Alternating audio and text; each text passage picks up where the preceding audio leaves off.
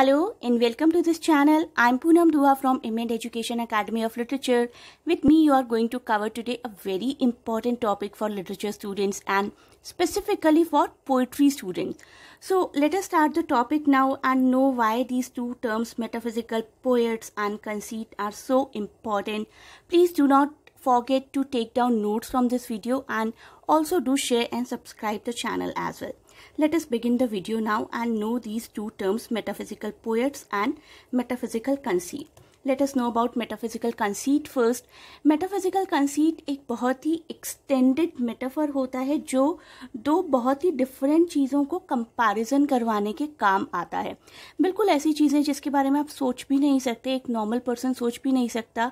ये पोइट्स उन दो चीज़ों के बीच में एक तरीके का कंपैरिजन करवा देते हैं through some sort of similarity और उस सिमिलैरिटी को वो अपने पॉइंट्स के थ्रू अपने आर्ग्यूमेंट्स के थ्रू प्रूव भी करते हैं.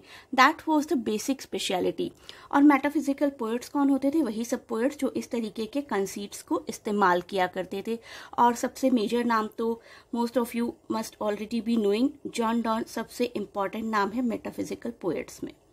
Okay let us move on to further part of this video now and see what else we have uh, we have some examples we have the name of the person who coined this term most of you must already be knowing ये term किसने coin की थी ये term coin की थी Samuel Johnson ने Samuel Johnson जो कि एटीन सेंचुरी के बहुत ही इंपॉर्टेंट पोएट थे और जिनका वर्क बहुत ही ज़्यादा इन्वेंटिव फैंसीफुल माना जाता है ही coined this term to describe a group of 17th century English poets वो सभी पोएट्स जिनका वर्क कैरेक्टराइज था by some kind of fanciful comparison और मेटाफर तो ऐसे सभी पोएट्स जो कि बहुत ही फैंसी काइंड ऑफ़ कंपैरिजन किया करते थे, उन सब के वर्क्स को कलेक्ट करके सैमुअल जॉनसन ने एक नाम दे दिया मेटाफिजिकल पोएट तो आपको एग्ज़ाम में भी ये क्वेश्चन आ सकता है who coin the term metaphysical poet तो this is the answer Samuel Johnson कई बच्चे बहुत बार कन्फ्यूज़ हो जाते हैं और सबसे इंपॉर्टेंट राइटर का नाम दैट इज़ जॉन डॉन उसका नाम लेकर आ जाते हैं, जो कि most of the time options में भी होता है। तो do not get confuse now onwards the one who coined the term was Samuel Johnson and the most important poet was John Donne. Let us continue further in this video and see कौन कौन से poets major poets माने जाते हैं metaphysical poetry के तो John Donne तो मैंने आपको बताया सबसे इंपॉर्टेंट नाम है the greatest figure of metaphysical poets and this loosely associated group also included poets like George Herbert Richard Crashaw Andrew Marvell and John Cleveland तो अब जानते हैं थोड़ा सा कंसीट के बारे में डिटेल में। मेटाफिजिकल कंसीट आखिर होता क्या है क्या क्या इसके फीचर्स हैं? What is a metaphysical conceit conceit जैसा कि मैंने आपको बताया इस a comparison between two very unlike things ऐसी चीज़ें जो एक दूसरे से बिल्कुल अलग होती हैं। आप देखोगे तो कहोगे, ये तो बिल्कुल डिसिमिलर है, इनमें क्या सिमिलैरिटीज़ हो सकती हैं? While comparisons what similarity can we make out in these two things so in unlike चीज़ों को कंपेयर करना ही बेसिकली मेटाफिजिकल कंसीट कहलाता है। एक एग्ज़ाम्पल लेकर देखिए marriage is like getting a root canal जब आप अपने दांतों का ट्रीटमेंट करवाते हैं ना पेनफुल सा ट्रीटमेंट उसको मैरिज से कंपेयर कर दिया गया। अब कैसे? सबसे पहला क्वेश्चन अराइज यही होता है रीडर्स के माइंड में how can that be possible तो इसको अब राइटर किस तरीके से पॉसिबल करवाएगा?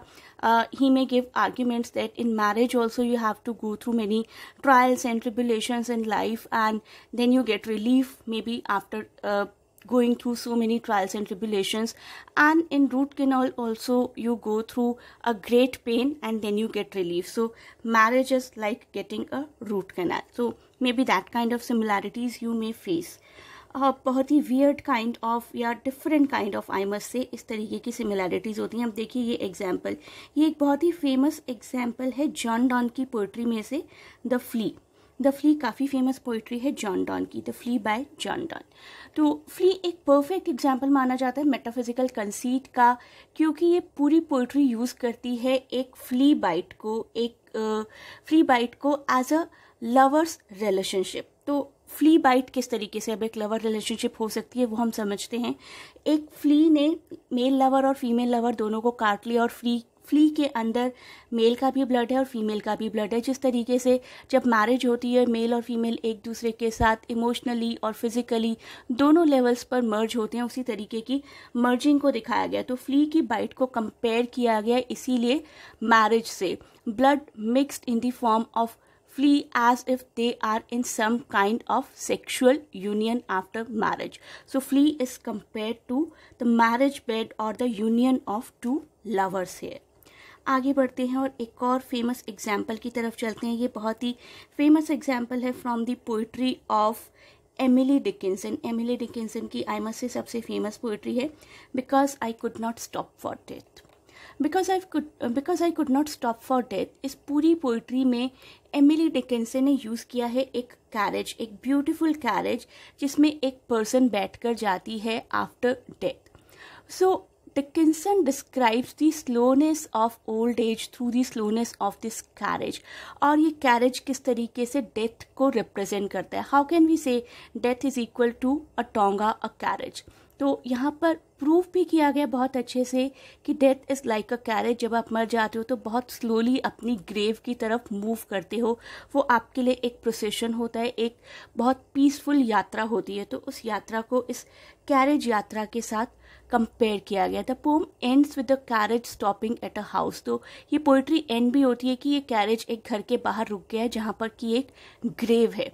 तो the person is actually ultimately reaching to his और her grave through this carriage तो कैरेज को कंपेयर किया गया है डेथ के साथ बहुत ही ब्यूटीफुल तरीके से in this poetry because I could not stop for death इस पोइट्री का मैं लिंक भी प्रोवाइड कर दूँगी आप लोगों को। ये पोइट्री अगर पढ़ते हैं तो कंसीट आपको काफ़ी क्लियर हो जाएगा and otherwise also this is a very beautiful poetry for all the literature lovers so now we have reached to the end part of this video and uh, in next two parts of the video we will cover two poems of john donne which are the perfect example of conceit also.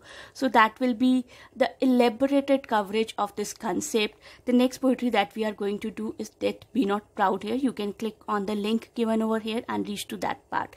Thanks a lot for watching and best of luck for your exams